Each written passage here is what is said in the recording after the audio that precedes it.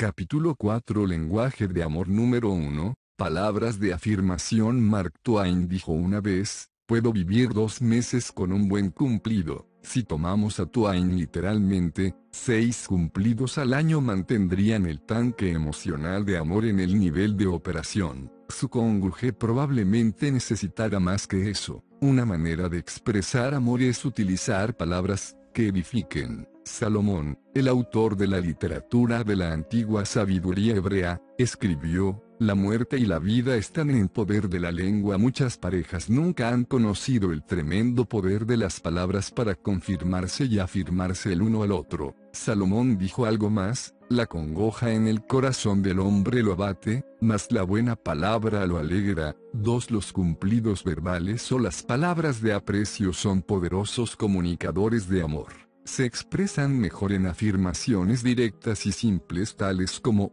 te ves muy bien con ese vestido, J siempre luces muy bonita con ese vestido J estás linda, eres la mejor cocinera del mundo, me encanta esta comida, gracias por lavar los platos esta noche. Quiero que sepas que lo aprecio mucho, estoy muy agradecida porque saques la basura, y qué pasaría con el ambiente emocional de un matrimonio si el esposo y la esposa oyeran tales palabras de afirmación regularmente, hace varios años estaba sentado en mi oficina con la puerta abierta, una dama que entraba al pasillo me dijo, tiene un minuto claro que sí, entre, se sentó y me dijo, Doctor Chapman, tengo un problema, no consigo que mi esposo pinte nuestro dormitorio, he estado pidiéndole por nueve meses, he probado de todo, pero no puedo lograr que lo pinte. Mi primer pensamiento fue, señora, se equivocó de lugar. No soy un contratista de pintura. Sin embargo, en lugar de eso le dije, cuénteme qué es lo que pasa.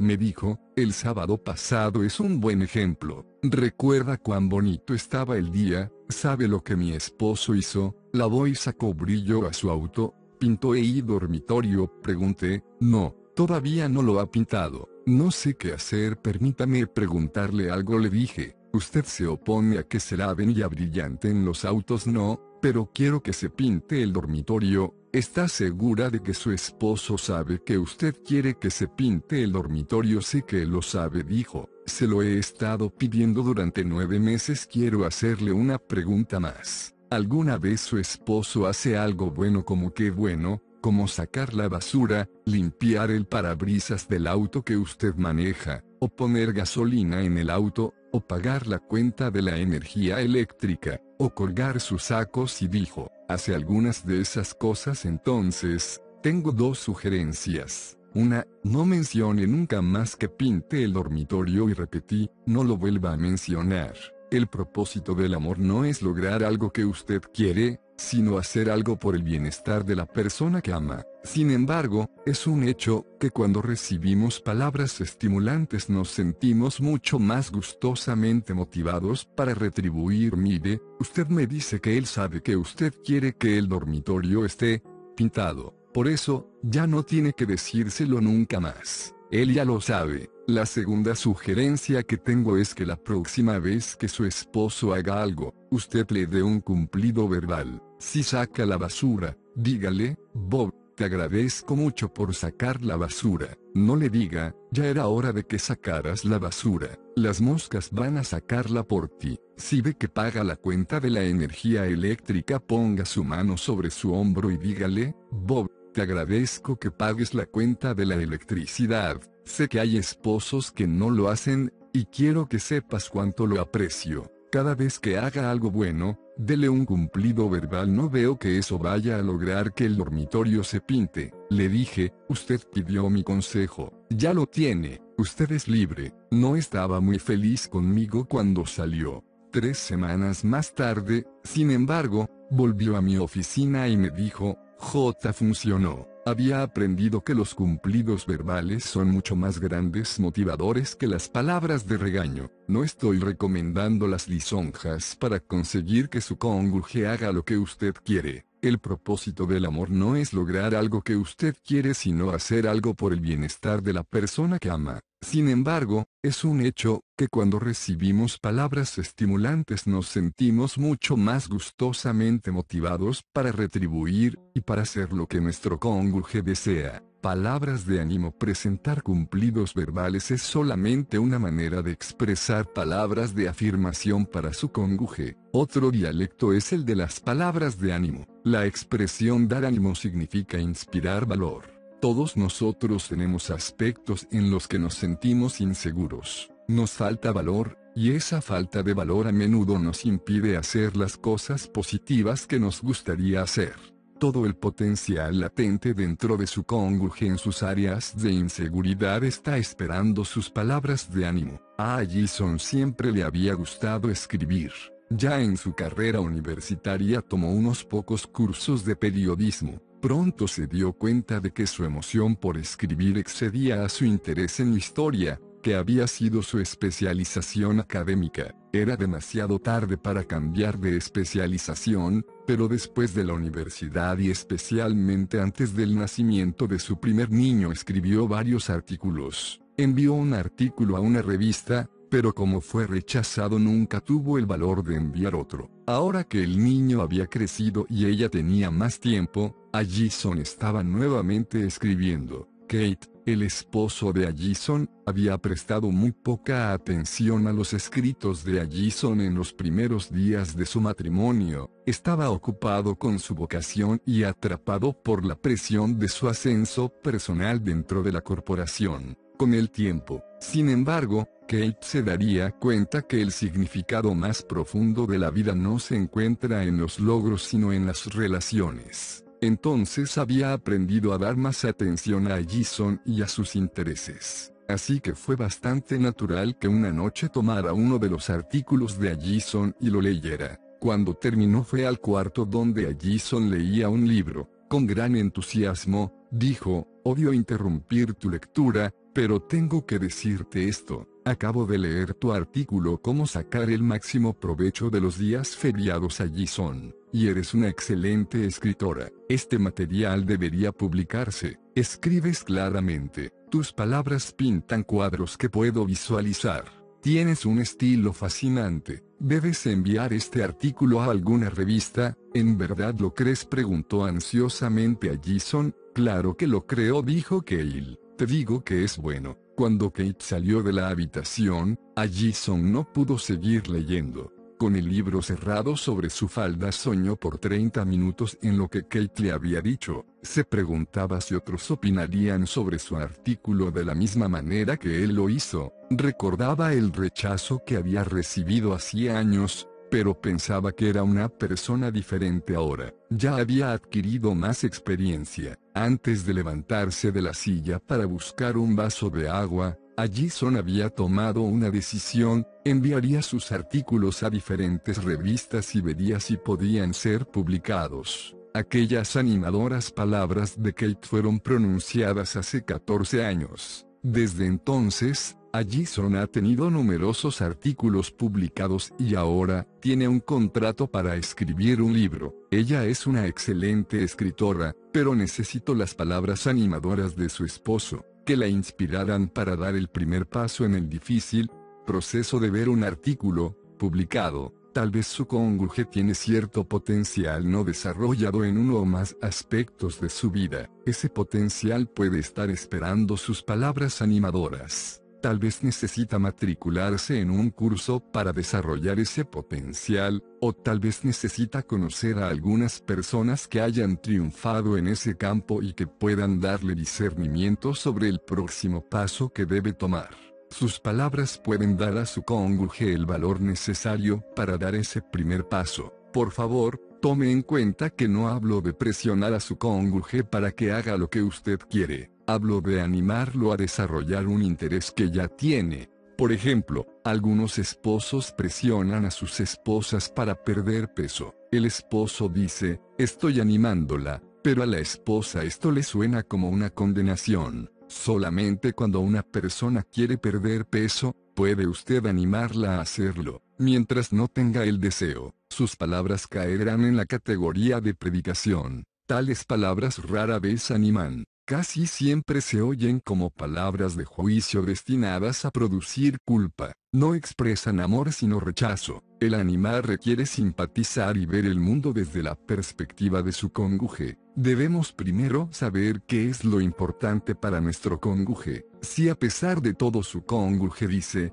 creo que este otoño debo matricularme en un programa para perder peso, entonces usted tiene la oportunidad de darle palabras de ánimo. Unas palabras animadoras que sonarían así, si te decides a hacerlo, será un éxito. Esa es una de las cosas que me gustan de ti. Cuando te propones a hacer algo, lo haces. Si eso es lo que quieres hacer, ciertamente haré todo lo que esté a mi alcance para ayudarte. Y no te preocupes sobre el costo del programa. Si eso es lo que quieres hacer, encontraremos el dinero, Tales palabras darán a su cónyuge el ánimo para telefonear enseguida al centro especializado para perder peso. El animal requiere simpatizar y ver el mundo desde la perspectiva de su cónyuge. Debemos saber primero qué es lo importante para nuestro cónyuge, solo entonces podemos dar ánimo. Con esas palabras, tratamos de decir, lo sé, me preocupo, estoy contigo, ¿Cómo puedo ayudarte? Estamos tratando de demostrar que, creemos en él y en sus capacidades. Le estamos dando crédito y estímulo. La mayoría de nosotros tenemos más potencial del que nunca desarrollaremos. Lo que nos detiene es a menudo la falta de valor. Un cónyuge amante puede suministrar todos esos catalizadores importantes. Por supuesto, las palabras animadoras pueden ser difíciles de expresar Puede ser que no sean su lenguaje principal de amor. Puede costarle un gran esfuerzo aprender este segundo lenguaje, así será especialmente si usted tiene una manera de hablar crítica y condenatoria, pero le aseguro que vale la pena el esfuerzo. Palabras amables, el amor es bondad.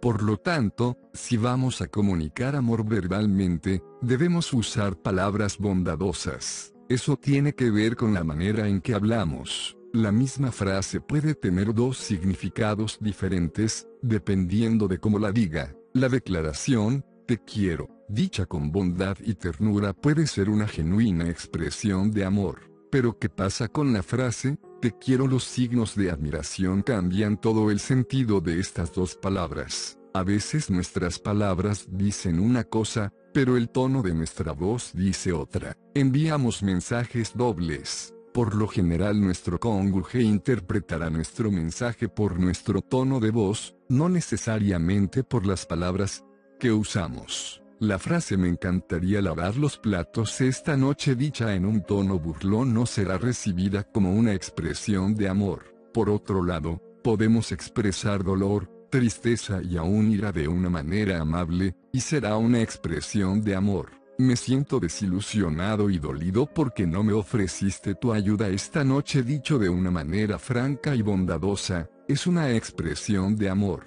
La persona que habla quiere ser conocida por su cónyuge, está dando los pasos para forjar intimidad manifestando sus sentimientos. Está buscando una oportunidad para hablar de una herida, a fin de hallar curación. Las mismas palabras expresadas con una voz alta y grosera no serán una expresión de amor sino de condenación y juicio. La manera en la que hablamos es absolutamente importante. Un antiguo sabio dijo una vez, la suave respuesta quita la ira. Cuando su cónyuge está enojado, trastornado y hablando palabras descomedidas, si usted quiere ser amoroso no debe responderle de la misma manera, sino con palabras suaves. Él o ella, recibirá lo que usted dice como una información sobre su estado emocional, lo dejará hablar de su dolor, de su ira y percepción de los acontecimientos. Procurará ponerse en su lugar y ver el asunto con los ojos de él, para luego expresar suave y bondadosamente su comprensión de la razón por la que se siente de esa manera. Si ha actuado mal, con él, usted querrá reconocer su error y luego pedir perdón. Si su motivación es diferente de la de él, usted explicará la suya bondadosamente, usted buscará entendimiento y reconciliación, y no tratará de demostrar que su propia percepción es la única manera lógica de interpretar lo que ha sucedido. Ese es amor maduro, amor al que debemos aspirar si queremos tener un matrimonio floreciente. El amor no guarda un puntaje de errores. El amor no revive los fracasos pasados. Ninguno de nosotros es perfecto, en el matrimonio no siempre hacemos lo mejor o lo que es justo, a veces hemos hecho o dicho cosas hirientes a nuestro cónyuge, no podemos borrar el pasado, solamente podemos confesarlo y aceptar que estuvo mal. Podemos pedir perdón y tratar de actuar de manera diferente en el futuro. Después de haber confesado mi fracaso y pedido perdón, no puedo hacer nada más para mitigar el dolor que pude haber causado a mi esposa. Cuando he sido ofendido por mi esposa y ella dolorosamente me ha confesado la falta y me ha pedido perdón, tengo la opción de la condena o el perdón. Si escojo la condena y trato de pagarle de la misma manera o hacer que pague por su error, me estoy haciendo el juez y haciendo de ella la malvada. La intimidad se vuelve imposible. Sin embargo, si escojo perdonar, la intimidad puede restaurarse. El perdón es la forma del amor. Estoy sorprendido de cuántos individuos mezclan el nuevo día con el ayer. Insisten en traer al presente los fracasos del ayer y al hacerlo arruinan un día potencialmente maravilloso. No puedo creer lo que hiciste, creo que nunca lo olvidaré. No puedes saber cuánto me heriste, no sé cómo puedes estar sentado allí tan tranquilamente después de que me trataste de esa manera, deberías estar clavado sobre tus rodillas rogándome que te perdone, no sé si pueda perdonarte alguna vez. Esas no son palabras de amor sino de amargura, de resentimiento y de venganza. Si vamos a disfrutar de una relación íntima, Necesitamos conocer los deseos de cada uno. Si queremos amarnos el uno al otro, necesitamos conocer lo que la otra persona quiere. Lo mejor que podemos hacer con los fracasos del pasado es dejar que sean historia. Sí, sucedió, y ciertamente dolió, y a lo mejor duele todavía, pero él ha reconocido su error y ha pedido su perdón. No podemos borrar el pasado pero podemos aceptarlo como historia podemos decidir vivir ahora libres de los errores del ayer. y perdón no es un sentimiento, es un sometimiento, es una decisión de mostrar misericordia, no de utilizar la ofensa contra el ofensor. Perdonar es una expresión de amor. Te quiero, me importas y decido perdonarte, aun cuando mis sentimientos o heridas no desaparezcan todavía, no permitiré que lo que ha pasado se interponga entre nosotros. Espero que podamos aprender de esta experiencia. No eres un fracasado porque hayas fracasado. Eres mi cónyuge y seguiremos juntos de aquí en adelante. Esas son palabras de afirmación expresadas en el dialecto de las palabras amables. Palabras humildes e y amor hace peticiones, no demandas. Cuando demando cosas de mi cónyuge, llego a ser un padre y él un hijo. Es el padre el que le dice al hijo de tres años lo que debe hacer y, en efecto, qué debe hacer. Y eso es necesario porque el hijo de tres años no sabe cómo navegar en las tormentosas aguas de la vida, en el matrimonio. Sin embargo, somos iguales, compañeros adultos. Si vamos a tener una relación íntima, necesitamos conocer los deseos de cada uno. Si queremos amarnos el uno al otro, necesitamos conocer lo que la otra persona quiere. La manera en la que expresamos esos deseos, sin embargo, es absolutamente importante. Si vienen como demandas, hemos borrado la posibilidad de la intimidad y alejaremos a nuestro cónyuge de nuestro lado. Si hacemos conocer nuestras necesidades y deseos como peticiones, estamos dando una guía, no un ultimátum. El esposo que dice, ¿Te acuerdas de esos pasteles de manzana que haces? Sería posible que hicieras uno esta semana, me encantan, está dando a su esposa una guía de cómo amarlo y así estrechar su intimidad. Por otro lado, el esposo que dice, no he tenido un pastel de manzana desde que el niño nació, no puedo imaginarme que no haya tenido un pastel de manzana en 18 años, ha dejado de ser adulto y ha retrocedido a la conducta de un adolescente. Tales demandas no favorecen la intimidad. La esposa que dice, ¿piensas que te será posible limpiar las canaletas de desagüe este fin de semana? Está expresando amor al hacer una petición. Pero la esposa que dice, si no limpias esas canaletas pronto van a hacer caer la casa. Ya hay árboles creciendo en ellos, ella ha dejado de amar y se ha convertido en una madre dominante. Cuando hace una petición a su cónyuge, usted está afirmando su valor y capacidad. En esencia, usted está dando a entender que él o ella tiene algo o puede hacer algo que es importante y valioso para usted. Cuando usted hace demandas, ya no es un amante sino un tirano. Su cónyuge no se sentirá afirmado sino empequeñecido. Una petición conlleva un elemento de decisión. Su compañero puede escoger aceptar su petición o negarla, porque el amor es siempre una decisión. Esto es lo que lo hace significativo, saber que mi cónyuge me ama lo suficiente para responder a una de mis peticiones me comunica emocionalmente que se preocupa de mí, que me respeta, que me admira, y que quiere hacer algo que me agrade. No podemos obtener amor por la vía de la demanda. Mi cónyuge puede cumplir con mis demandas, pero eso no es una expresión de amor. Es un acto de temor o de culpa o de cualquier otra emoción, pero no de amor. Así, una petición crea la posibilidad de una expresión de amor, mientras que una demanda ahoga esa posibilidad. Varios dialectos Las palabras de afirmación son uno de los cinco lenguajes básicos de amor. Dentro de ese lenguaje, sin embargo, hay muchos dialectos. Ya hemos hablado de unos pocos y hay muchos más. Se han escrito volúmenes enteros y numerosos artículos sobre estos dialectos. Todos ellos tienen en común el uso de palabras que afirman al cónyuge. El psicólogo William James dijo que la necesidad más profunda del hombre era la de sentirse apreciado. Las palabras de afirmación llenarán esa necesidad en muchos individuos.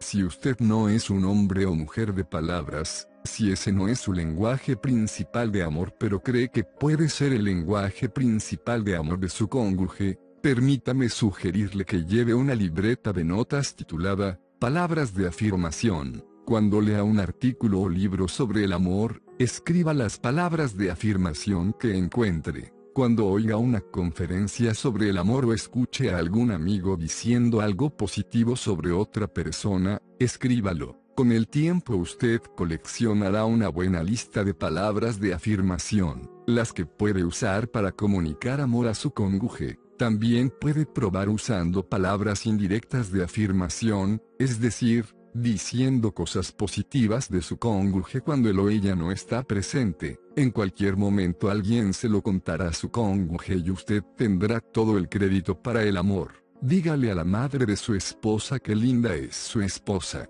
Cuando su suegra le cuente a ella lo que usted dijo, tenga por seguro estará ampliado, y usted conseguirá aún más crédito. También hable bien de su cónyuge frente a otros cuando él o ella esté presente. Cuando lo honren públicamente por algún triunfo, participe ese homenaje con su cónyuge. Puede también escribir palabras de afirmación. Las palabras escritas tienen la ventaja de que pueden ser leídas una y otra vez. Aprendí una importante lección sobre las palabras de afirmación y los lenguajes del amor en Little Rock, Arkansas. Visité a Billy Betty en un hermoso día de primavera. Vivían en un grupo de casas con una cerca blanca de estacas, césped verde y flores de primavera en plena hermosura. Era idílico. Una vez adentro descubrí que el idealismo terminó. Su matrimonio estaba en ruinas. Luego de 12 años y dos hijos, se preguntaban por qué se habían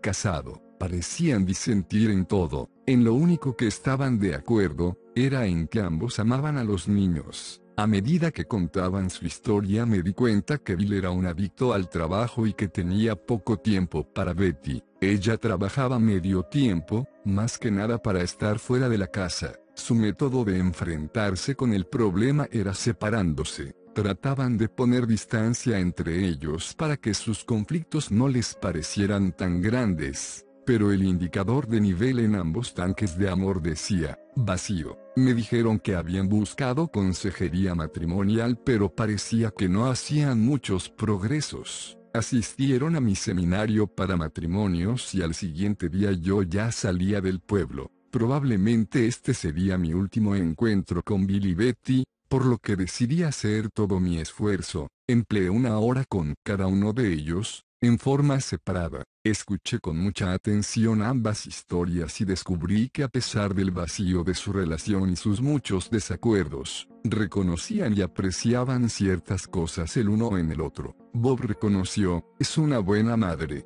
también una buena ama de casa y una excelente cocinera cuando decide cocinar, pero no me da ningún afecto. Trabajo todo lo que puedo y no hay ninguna señal de aprecio hacia mí. En mi conversación, con Betty, ella aceptó que Bill era un excelente proveedor para la familia, pero se quejó, no hace nada en la casa para ayudarme, y nunca tiene tiempo para mí, que sacamos teniendo la casa, el automóvil y todas las demás cosas si nunca disfrutamos de ellas juntos con esa información decidí enfocar mi consejo haciendo solamente una sugerencia a cada uno de ellos. Dije a Bob y a Betty, separadamente, que cada uno de ellos tenía la clave para cambiar el clima emocional del matrimonio. Esa clave dije, es expresar aprecio verbal por las cosas que a uno le gusta de la otra persona y, por el momento, suspender sus quejas sobre las cosas que no les gusta. Revisamos los comentarios positivos que ya habían hecho el uno y el otro, y los ayudé a cada uno a escribir una lista de esos rasgos positivos. Bill se centró en las actividades de Betty como madre,